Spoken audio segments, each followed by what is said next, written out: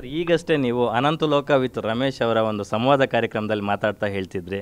ಇತ್ತೀಚಿನ ದಿನಗಳಲ್ಲಿ ಸಿನಿಮಾಗಳಲ್ಲಿ, ಸಮಾಜದಲ್ಲಿ ಕ್ರೌರ್ಯ, ಕ್ರೌರ್ಯತೆ ಜಾಸ್ತಿ ಆಗ್ತಾ ಇದೆ ಅಂತಕ್ಕಂಥದ್ದು. ಜೊತೆಗೆ ಜನರಲ್ಲಿ ಸಹನೆ, ತಾಳ್ಮೆ ಗುಣಗಳು ತುಂಬ ಕಮ್ಮಿ ಆಗ್ತಾ ಇದೆ ಅಂತಕ್ಕಂಥದ್ದು.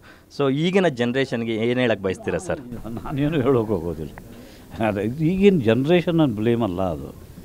ಇದು ದೇಶದಲ್ಲೇ ಹೀಗೆ ಪರಿಸ್ಥಿತಿ. ವಿದೇಶದಲ್ಲೂ ಅದೇ ರೀತಿ ಪರಿಸ್ಥಿತಿ ಇದೆ. ಎಲ್ಲ ಕಡೆ ನೀವು ಎಲ್ಲಿ ನೋಡಿದ್ರು ಅಲ್ಲಿ ಈಗ ಉದಾಹರಣೆಗೆ ಯಾವ ರೀತಿ ಗಲಾಟೆಗಳು ಪ್ಯಾರಿಸಲ್ಲಿ ಅದು ಯಾವ ರೀತಿಯ ಒಂದು ಅದು ಯಾವುದು ಯಾವುದು ನಾವು ಅದನ್ನು ಆಗಲೇಬೇಕಾಗಿಲ್ಲ. ಅದನ್ನು ನಾವು ಅವಾಯ್ಡ್ ಮಾಡ್ಬೋದು. ಅಂಥದ್ದು ಅಂಥದ್ರಲ್ಲೂ ಕೂಡ ಯುಕ್ರೇನ್ ಮತ್ತು ರಷ್ಯಾ ಮಧ್ಯೆ ಇದು ಯುದ್ಧ ನಮಗೆ ಕಾಣ್ತದೆ. ಇದು ರಷ್ಯಾ ಮತ್ತು ಯುಕ್ರೇನ್ ಮಧ್ಯೆ ಯುದ್ಧ ಅಂತ. ಅದರ ಅದು ಹಿಂದೆ ಈ ಕಡೆಯೂ ಫೋರ್ಸ್ ಬೇರೆ ಬೇರೆ ಶಕ್ತಿಗಳಿದ್ದಾವೆ. ದುಷ್ಟ ಶಕ್ತಿಗಳೇ. ಈ ಕಡೆಯೂ ದುಷ್ಟ ಶಕ್ತಿಗಳಿದ್ದಾವೆ.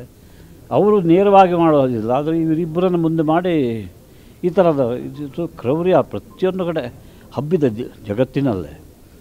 ಅದರ ಒಂದು ಅಂಶ ನಮ್ಮ ದೇಶದಲ್ಲೂ ಇದೆ.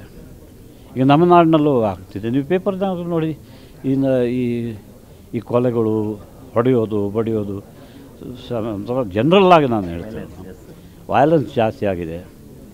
ಅದನ್ನು ತಗ್ಗಿಸುವಂತೆ ತಗ್ಗಿಸುವುದಕ್ಕೆ ಎಲ್ಲ ಸಮಾಜದಲ್ಲಿ ಯಾರು ನಾಯಕರು ಅಂತಿದ್ದಾರೆ, ಪುಡಾರಿಗಳು ಬೇರೆ ಬೇರೆ ಕ್ಷೇತ್ರಗಳಲ್ಲಿ, ಅವರು ಪ್ರಯತ್ನ ಮಾಡಬೇಕು ಅನ್ನೋದೇ ನನ್ನ ಆಸೆ ಅಷ್ಟೇ.